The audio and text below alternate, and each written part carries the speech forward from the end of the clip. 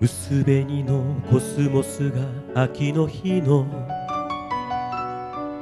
何気ない日だまりに揺れている。この頃涙もろくなった母が。庭先で一つ咳をする。縁側でアルバムを開いては私の幼い日の思い出を何度も同じ話繰り返す。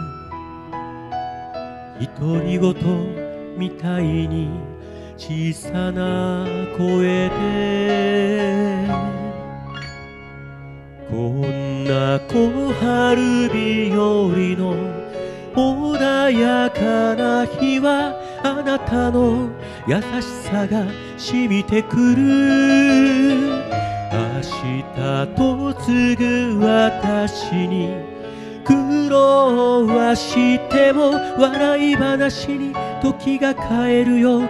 心配いらないと笑った。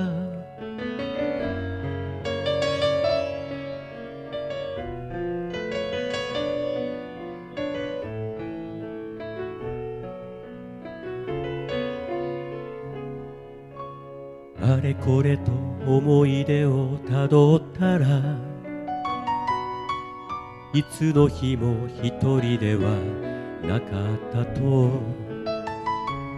今さらながらわがままな私に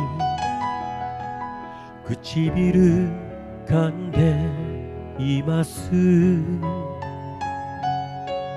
明日への荷造りに手を借りてしばらくは楽しげにいたけれど突然涙こぼし元気でと何度も何度も繰り返す母。